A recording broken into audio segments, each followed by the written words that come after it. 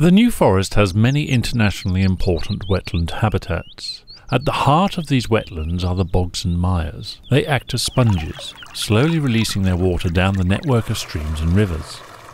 They naturally regulate themselves. But in the mid 1800s, a wide, straight drain was dug to remove water quickly from a part of the forest. The original meandering stream through Fletcher's Thorns was replaced. It was a change that would have far reaching consequences. In times of heavy rain, the river could not escape the man-made channel with its high banks. The force of the water continually eroded the gravel bed and the banks got higher, which prevented any seasonal flooding out onto the original floodplain. The floodwater would have carried alluvial deposits that would have enriched the surrounding grasslands, and it's these streamside lawns with their seasonal overspill which are now known to be highly beneficial to livestock. The higher level stewardship scheme allowed the present work to be undertaken and thereby remedy those past detriments to Fletcher's stream. To find the old watercourse, the driver's map of 1789 was used, along with LIDAR, and tracing the remains of old meanders on the ground. With the restoration proposal drawn up, a wide range of stakeholders were consulted and approval was granted. The necessary licenses and consents were also obtained, and the groundwork got underway. A number of trees and scrub had to be marked for removal. This not only allowed access, but revealed lost lawns in the process, and would give much better growing conditions for streamside vegetation in the years to come.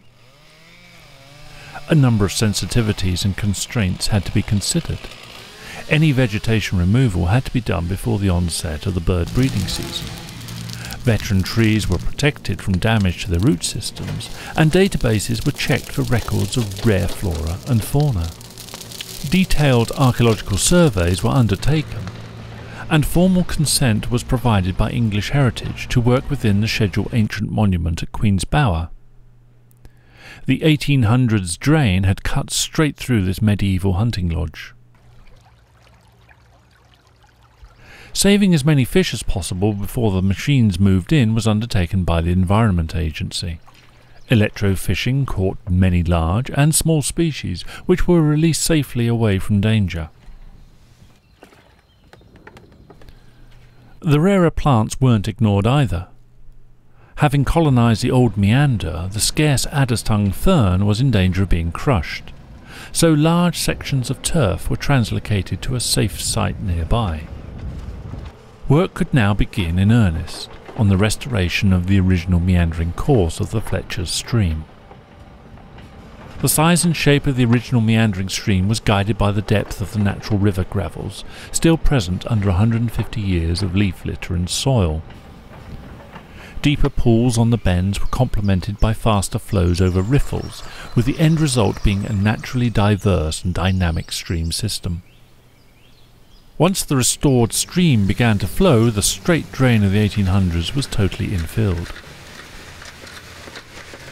A vast amount of locally resourced material was used to infill 1,200 metres of drain. Specialist vehicles with balloon tyres minimised ground damage as they delivered large 20 ton loads of material. The skill and expertise of the contractors was evident in the quality of the finish. From 1,200 metres of straight drain, almost twice that had been restored to a pre-1800s meandering stream. The work was completed with vegetation reinstatement, covering tracks, softening harsh lines and replacing retained topsoil, turfs and vegetation to ensure a rapid recovery. Six months on after an autumn leaf fall, the only vestiges of a straight 1800s drain is an avenue through the wood. The restored meanders may take a little while to bed themselves in, but they are back where they once were. As an indication of what can be expected, the section of Fletcher's immediately above this stretch, which was worked upon a year earlier, has already clothed itself with fauna and flora. The end result of this HLS project is a restored watercourse which is able to interact with its floodplain. Ultimately, the aim is to safeguard our vulnerable wetland habitats and hopefully give them a natural longevity.